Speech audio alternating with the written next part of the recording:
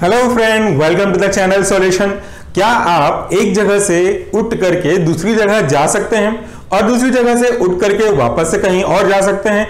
ये जवाब बहुत आसान है और आप ये सोच रहे होंगे कि आज ये सर हमसे कैसे पूछ रहे हैं? ये बहुत बकवास सवाल हमसे क्यों पूछ रहे हैं कि कोई व्यक्ति एक यहाँ से दूसरी जगह मूव कर सकता है? तो ये जो आप मूव कर सकते हैं, इसका कारण है कि आप लोकोमोशन कर सकते हैं।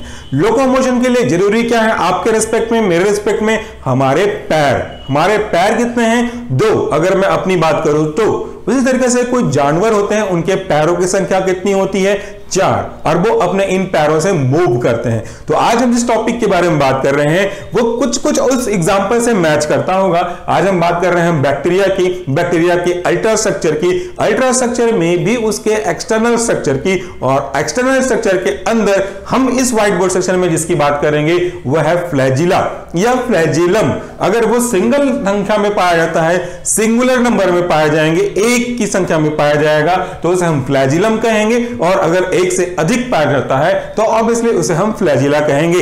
जिस तरीके से हमने देखा आपके प्रोकैरियोटिक और यूकैरियोटिक में एक मेजर अंतर वैसा ही एक इंपॉर्टेंस हो सकता है फ्लैजिला जो कि उनके लोकोमोशन के लिए मददगार होता है। और आप ये जानते हैं कि जो बैक्टीरिया है it is example of prokaryotics तो आइए कुछ बात करें उसके स्ट्रक्चर के रेस्पेक्ट में। सो so, स्ट्रक्चर की अगर आप बात करते हैं यानी कि फ्लैजिला के रेस्पेक्ट में बात करते हैं स्ट्रक्चर की तो ये लॉन्ग होते हैं लंबे होते हैं सिलेंडर फेप में होते हैं पतले होते हैं बहुत पतले कितना वो आगे देखेंगे आप। हेयर लाइक स्ट्रक्चर होते हैं, और which is a structure which is a cytoplasmic structure और इनका जो काम क्या है, या ये किस पर्पज के लिए रिस्पॉन्सिबल होते हैं तो these are responsible for the motility of eubacteria कुछ केस में यू बैक्टीरिया का मतलब होता है ट्रू बैक्टीरिया जो एक्चुअल में हम उनको आगे जाकर के ग्राम पॉजिटिव या ग्राम नेगेटिव में क्लासिफाई कर सकते हैं।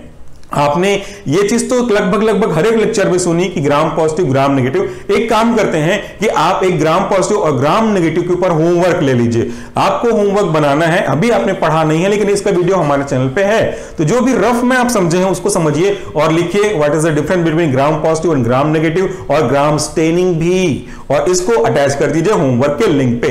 फिर हम बात करते हैं इसके अगले पॉइंट की फीचर्स की। तो इनकी लंबाई आपने देखा कि लॉन्ग है थिन है, लेकिन स्पेसिफिकेशन कितना है? जो कि बहुत ही specific to the point question बनता है तो इनकी जो लंबाई है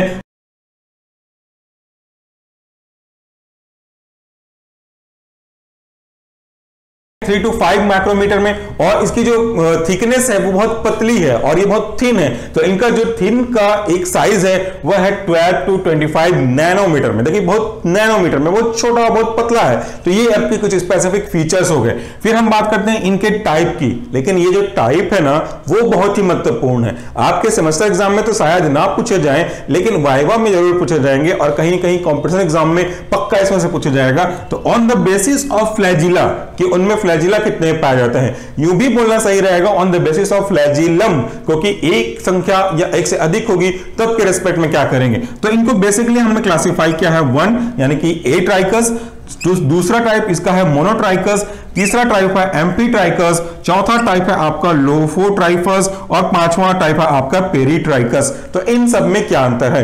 मैं आपको दोबारा रिकॉल करूँगा, कहीं भी आपने अपनी जो मेंटल कैंची रखी हुई है ना कट करने की, उसे बाहर निकाल लीजिए, उसकी ज़रूरत है। क्यों? क्योंकि पहला देखिए, आप पहले वाले पे देखते हैं, इसको थोड़ा रीड करें। यह है ए ट्राइकस ए ट्राइकस मतलब दिखा रहा है कि उसमें फ्लैजिला नहीं है। उस पर्टिकुलर सेल में there is absence of flagella and that is why it is non motile क्योंकि अब फ्लैजिला है नहीं तो मोटाइल कैसे होगा? उसके में मूव करने वाले ऑर्गन नहीं है तो वो मूव कैसे होगा? तो दिस इज़ एग्ज़ाम्पल ऑफ़ पैस्चुला ये इनका एक स्पेसिफिक एग्ज़ाम्पल है। अब इसकी कोई डायग्राम बनाने की आवश्यकता नहीं, फिर भी अगर हम डायग्राम बनाना चाहें तो इस तरीके से बोल सकते हैं कि इसमें कोई फ्लैजिला नहीं है। दूसरा है आपका मोनोट्राइकस वापस से देखिए मोनो मतलब क्या होता है? सिंगल एक। तो trichous represent the flagella here single polar flagellum is found एक है ना, इसलिए हमने फ्लैजिलम लिखा इज़ फाउंड अब इसका स्ट्रक्चर आप देखिएगा। ये एक ऐसा टॉपिक है, जिसका स्ट्रक्चर बड़ा इंपॉर्टेंट है। स्ट्रक्चर देख करके आप उसको अच्छे से समझ भी सकते हैं और समझा भी सकते हैं। ये आपके यू बैक्टीरिया का स्ट्रक्चर है रफ डायग्राम है, और ये जो ब्लू कलर में है, वो आपके फ्लैजिला या फ्लैजिलम को रिप्रेजेंट कर रहा है। इसके एग्ज़ाम्पल भी देखिए मोनोट्राइकस का कौन सा है? तो ये है स्यूडोमोनास कई बार सुना है, आगे भी पढ़ेंगे हम लोग। स्यूडोमोनास के साथ साथ देखिए थायोबेसिलस भी है फार्माकोलॉजी में भी इसको पढ़ेंगे, आने वाले टॉपिक्स में भी इसको पढ़ेंगे। फिर हम बात करते हैं एम्फीट्राइकस की। एम्फीट्राइकस का मतलब क्या होता है, ये आप इस चीज़ से समझ सकते हैं, मेढक को लेकर के। एम्फीबियंस बोलते हैं, मेढक को, यानी कि जो पानी में भी रह सकता है, जो ज़मीन में भी रह सकता है, दोनों जगह रह सकता है। So amphi stand for both यहाँ पे देखिए क्या मतलब निकाल सकते हैं इसका। Amphitrichous single flagellum occurs at each end of the cell obviously दोनों तरफ़, थल पानी में भी, थल में भी और जल में भी, दोनों तरफ़ ये रह सकते हैं। That is why it is called amphitrichous तो ये जो एम्फीट्राइकस है, उसका स्ट्रक्चर भी देखेंगे, उसका एग्ज़ाम्पल भी देखेंगे।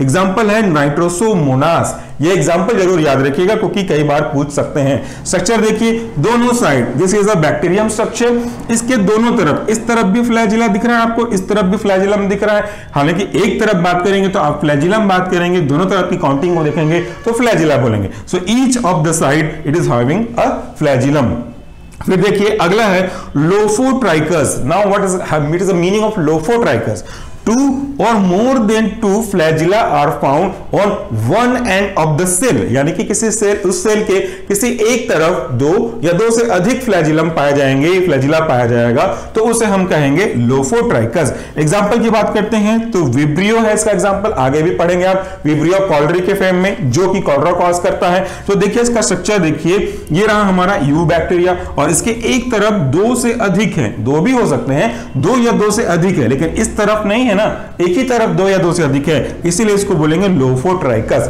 फिर हम बात करते हैं आखिरी classification according to the flagella availability ये है आपका पेरीट्राइकस पेरीट्राइकस में क्या होगा? Flagella are found on entire body of the cell उस सेल की बॉडी के एंटायर सरफेस पे एक्सटर्नल स्ट्रक्चर पे आप इसको फ्लैजिलम को पाएँगे। और इसके एग्जांपल है इस्टेरिचिया ये बहुत ही महत्वपूर्ण है। आगे भी इसके पाइप पढ़ेंगे। और क्लोस्ट्रीडियम स्ट्रक्चर देखिए, ये रहा आपका यू बैक्टीरिया और इसके सरफेस के लगभग लगभग सब तरफ़ आपको ये फ्लैजिलम दिखाई दे रहा है। तो this is a simple classification of flagella चलिए सेकेंड व्हाइट बोर्ड सेक्शन में इसी वीडियो के मूव करते हैं। और पीली के बारे में देख करके इसके एक्सटर्नल स्ट्रक्चर के टॉपिक को कंप्लीट करेंगे। नेक्स्ट वीडियो में फिर हम बात करेंगे इंटरनल वीडियो की। Let's move to second part of this whiteboard section तो चलिए खत्म करते हैं। अब हमारे बैक्टीरिया के एक्सटर्नल स्ट्रक्चर को आखिरी इंपॉर्टेंट पार्ट पीली और फिम्ब्रिया से। सबसे पहले तो हमको यह जानना होगा कि खास करके किस तरह के बैक्टीरिया में, क्या ग्राम पॉजिटिव में, क्या ग्राम नेगेटिव में, किन में ज़्यादातर ये चीज़ें देखने को मिलती हैं। तो देखिए मेनी ग्राम नेगेटिव ज़्यादातर, इसका मतलब ये नहीं कि सभी, ज़्यादातर ग्राम नेगेटिव बैक्टीरिया कंटेन करते हैं। हेयर लाइक स्ट्रक्चर को, और इन्हीं हेयर लाइक स्ट्रक्चर को हम बोल सकते हैं पीली, या तो कभी कभी इसे हम फ्यूमरिया नाम से भी जानते हैं, और ये आपके उस बैक्टीरिया के सरफेस के ऊपर आपको देखने को मिलते हैं। यूँ तो पीली और फिम्ब्रिया दिखने में, सुनने में एक जैसे लगते हैं और कई बार इन दोनों वर्ड को एक दूसरे के साथ इंटरचेंजेबली यूज़ किया जाता है। बट इनमें थोड़ा सा डिस्टिंग्विश फीचर है जिसको हम लोग उनको अंतर कर सकते हैं। तो चलिए सबसे पहले तो हम इन दोनों में बेसिक अंतर देख लेते हैं, क्योंकि यही आपके एग्ज़ाम में पूछने लायक क्वेश्चन है। बाकी बहुत ज़्यादा इनमें से नहीं पूछेंगे, केवल आपको अल्ट्रास्ट्रक्चर पूछा जाएगा। तो देखिए फिम्ब्रिया का कुछ बेसिक पॉइंट ये कहता है evenly distributed over all the entire surface of the cell यानी कि ये सभी सरफेस पे उस सेल के, उस बैक्टीरिया के जिसके बारे में आप बात कर रहे हैं, उस स्पेसिफिक ग्राम नेगेटिव बैक्टीरिया के बारे में बात कर रहे हैं तो उनके सेल के सरफेस पे एकदम समान मात्रा में सब तरफ़ पाया जाएगा। या अगर आप इनके एक स्पेसिफिक तरीके के बारे में बात करेंगे तो they can also occur at the pole of bacteria वो या तो किसी एक पोल यानी कि हमने जो बताया था साइड की बात कर रहे थे, उस एक पोल पे पाया जा सकता है। और अगर मैं बात करूँ they enable cell to adhere to surface इनका काम क्या है?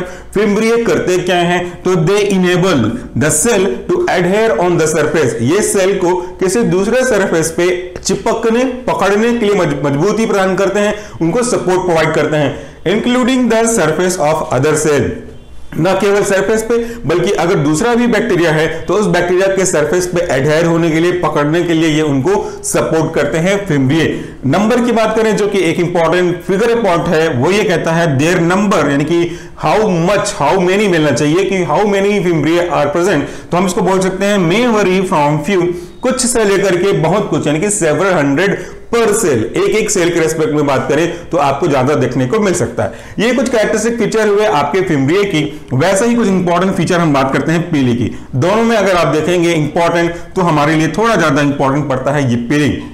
ये क्या है? पिली आर लॉन्गर देन फिम्ब्रिए लंबाई की तुलना में आपके जो पिली हैं, वो आपके इस फिम्ब्रिए से ज़्यादा होते हैं। गूगल पे आप कलर इमेज सर्च करेंगे तो थोड़ा सा अच्छे से क्लियर कर पाएँगे।